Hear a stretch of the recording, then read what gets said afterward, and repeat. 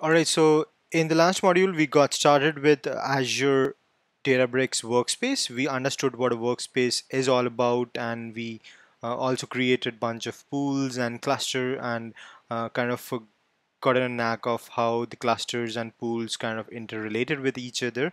Uh, we created majority of them, uh, in fact, all of them using the uh, GUI, uh, Microsoft Azure portal. However, for the infrastructure automation purpose or folks who are coming from DevOps or SRE background, uh, one who needs to manage their infrastructure using some sort of uh, infrastructure as a code, this session is for those folks so that we can manage our infrastructure, uh, Databricks infrastructure using Terraform. Whatever we created using Microsoft Azure portal manually clicking around, you don't want to click around the GUI if you're coming from an automation uh, background. Uh, and if you want to manage your infrastructure for multiple environments, you would uh, need to have some sort of uh, infrastructure as a code. So this session is going to be about Terraform, how you could manage your Databricks infrastructure using Terraform. And uh, at the end, we would also see how you could use Databricks CLI to manage any object underneath your workspaces, be it the clusters, secrets, uh, file system, uh, or the tokens or the cluster configuration. Everything could be managing managed using the CLI as well. So without further uh, ado, let's get started. So I've got my uh, terminal um, IDE opened. I'm using IntelliJ um, for the purpose and I've also got my documentation. Um, that's my documentation uh, which uh, we are going to refer to and fro. Uh, this is not specific to Azure. The, these APIs are uh, generic Databricks API, Terraform API, which can be used for any provider, be it uh, GCP, Azure, or AWS. We're going to use it for Azure, and then we have got one specific uh, Terraform module for uh, Azure. So um, let's get started. Let's get uh, let's write some Terraform code. So I'm going to create my first file, going to be main.tf, and then I'm going to use var or rather provider.tf. So once that is created, I am good to write my Terraform code. The first thing is you want to create a resource group. Um, so the API is going to be Azure RM resource group and that's going to be resource group. Um, location we are going to use North Europe North Europe um, could be any of the region. And then name um, Databricks RG and now we're gonna create the workspace. Um, so it's gonna start with the key name as resource and then the API which is going to be Azure RM Databricks.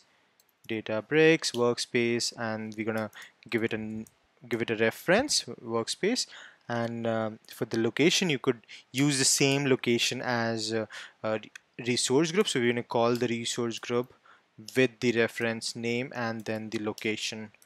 Uh, name we're going to use give it a name as Azure code red DB and then the resource group name we're going to call the resource group as uh, call the reference the resource group name mm, using the name attribute and the SKU which is going to be premium uh, or standard whatever you want to use. Remember we we chose a premium when we were created manually. And this is going to create your uh, workspaces. However it doesn't hold any of the um, clusters or pools or node type at the moment. So to view that let's go back to our documentation.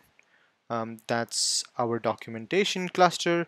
And let's probably try to um, copy the Databricks cluster resource. Alright, so that's the cluster. We're gonna uh, make sure that we wanna pick the smallest of the uh, node type and obviously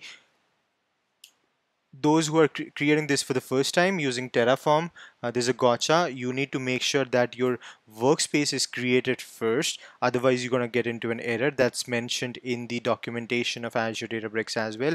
So you could just use the depends on attribute and give it a name uh, and uh, that would be depend on the workspace. So you want to make sure that the first workspace is created, then it's going to select this uh, the node type and we're going to do the same for um, the Spark version also. We're going to use the latest LTS and then we are going to create the cluster. But before the cluster creation remember we created the instance pool as well. So we're going to create the instance pool Azure um, that's going to be Databricks API so that's going to be Databricks and then instance pool and then give it a name as probably nodes or rather pool and you define the pool structure right over here. You start with the instance instance pool name which is going to be code red pool. And then we remember we chose the minimal idle instances. So we're going to give the mid minimal idle instances uh, which is going to be an integer. So I can select 0 or whatever numeric and then the max capacity uh, that's going to be the maximum capacity of the clusters can inflate up to. That's going to be again an integer and then it's going to be node type. So node type underscore id is going to be data because we're importing the node type right over here. So that's going to be node type dot smallest and dot obviously the ID uh, so once we have done that we could just give the idle instance type also. Remember we chose the idle instance parameter when we were creating manually and then auto termination underscore minutes and then that's going to be 10 minutes. And then we could just uh, refer the cluster with uh, the uh, instance. So we're going to use it depends on again because we want to make sure the first the pool is created then only the cluster could be created. So we're going to give it as uh, uh, Azure RM workspace. Obviously we want the workspace we created first and then um, the auto scaling and we don't want to don't want this huge size of uh, max worker node. And what we could do is we could just the, use the instance map the instance pool ID as well. That's going to be instance pool ID and then we're going to refer to this one which is going to be Databricks instance pool dot the reference name which is going to be pool and dot ID that's about it. So now you have uh, allocated the shared cluster name. You've given the spark version which we have defined right over here. Uh, we've given the node type as well we've given the auto termination as 20 minutes. Um, interesting thing you could just give the spark conf as well. So remember we use the spark conf. And you could just give the configuration right over here. Uh, the conf could go like inside the string.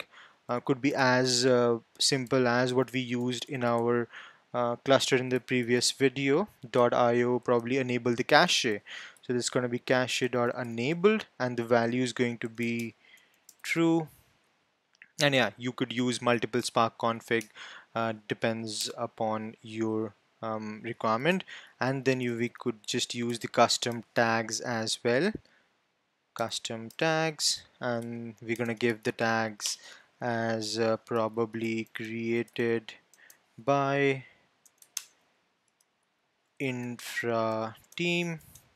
And you could just have multiple tags also. Alright that's uh, uh, about it you could just go back to your uh, documentation and you could just verify that whatever we have uh, written we use the instance pool uh, and that's the documentation for instance pool uh, so we're going to come back and then we're going to use the provider section. Um, in the provider section um, there's bunch of information we're going to feed in. The first thing is going to be uh, Terraform and the required providers. Required providers would be Databricks and we want to make sure that um, the source gonna be pulling out from the Databricks labs and underneath it we have the Databricks. All of these information are available on the Terraform documentation so don't worry about the syntax and the latest version. Once we've done that, uh, we're going to pull in the Azure RM provider and for the authentication, we are going to um, pull in our mandatory details, um, which is going to be the features which is mandatory for Azure RM and then we're going to use the client ID we're going to use the client secret and then we're going to use the tenant ID and the subscription ID as well. We're going to go back to our Azure documentation right over here. Um, we first gonna go to the Azure app registration. Rather go to Active Directory. If this is all new for you I would recommend you to understand the authentication. There are multiple ways of uh, doing the authentication and one of them is using the um, the secret and the client ID so we are using that. Uh, I've already got one created I'm gonna use the client ID that's going to be my IntelliJ and I'm gonna paste it right over here. I'm gonna come back here use the tenant ID paste it right over here. Um, then I am going to go to the certificate and secret and generate a new secret um, for code red add and that's gonna generate a super secret. I highly recommend you do not to put it in a plain text rather pull it from some sort of uh, key vault.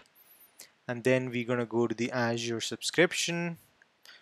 Copy the subscription ID where we wanna create the resources. And what we're gonna do is we're gonna use a provider for Databricks as well. Databricks and then we are gonna we're gonna use the depends on over here also. So what we're gonna do is we're gonna use the Azure underscore workspace underscore resource underscore ID and that's going to be Azure RM Databricks workspace dot workspace reference and then uh, the ID and then we would need to have Azure RM client um, ID secret and tenant. So we're gonna copy it right from here put it right over here and then just edit the parameter as per the Databricks documentation so it's going to be Azure Client ID, Azure Secret, and Azure Tenant ID. So if we go to our code again, we could just verify we created a resource group, we created a workspace, we created a node type, and then we defined a Spark version, instance pool, and then the cluster which was binded with the instance pool. and then we defined the uh, configuration of our Spark. There could be multiple configuration which you could put right over here. We've got the custom tags. Uh, you could have as many tags as you want. I'm going to launch my terminal now um, mm -hmm. and run Terraform init and let's check if we have any typos or any of the errors. Uh, so it's gonna initialize and install all the plugins. So if you could just elaborate our um, Databricks folder you could just see that dot .terraform is folder is there and now you have all the modules uh, underneath the providers. So with the new version uh, 0.15 of Terraform you could just have everything underneath the, need the providers rather than the plugin. I'm just gonna do a validate as well so that we have uh, identified any uh, plugin or some sort of uh, name so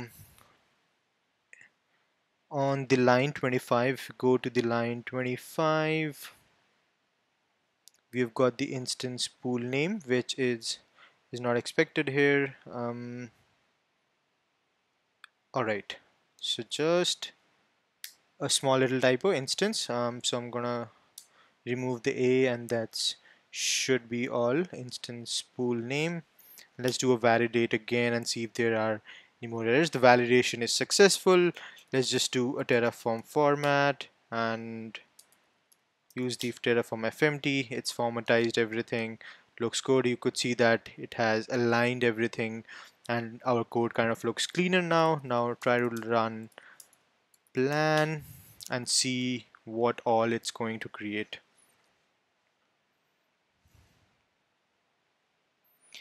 So there should be around six, seven resources. Um, so I, there are four resources, the instance pool um, with certain information, this shared uh, auto cluster, uh, the cluster which is going to be attached with uh, the pool. And then we've got the workspace and a bunch of other information. What I'm gonna do is I'm gonna run terraform apply and then auto approve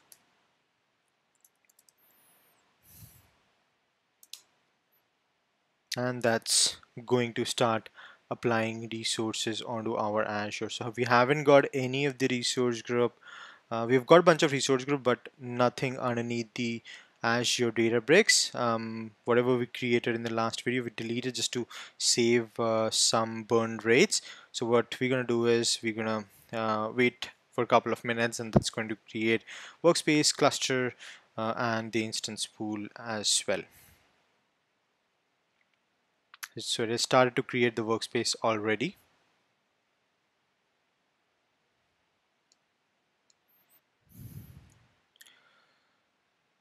All right so the cluster is now created nearly a, uh, about just ab uh, above uh, five minutes. If we go to our Azure portal and hit hit refresh we should have uh, the Databricks workspace now which is Azure Code Red DB um, if we go to our workspace and launch our workspace newly created workspace with the Azure authentication which kind of comes uh, natively. We would see a cluster uh, which is attached uh, to a brand new pool. If you go to the cluster this cluster is this one which is um, attached to our code red pool. If you go to the CodeRed pool. Uh, the pool is now running which has got two idle instances with a maximum capacity of 10 alright this is uh, how it is to create uh, automate the infrastructure using um, Terraform. We're gonna come back again uh, on this um, in upcoming modules wherein we would uh, try to mount a storage using Terraform as well. Uh, that's it for now. I hope this was informative. Thank you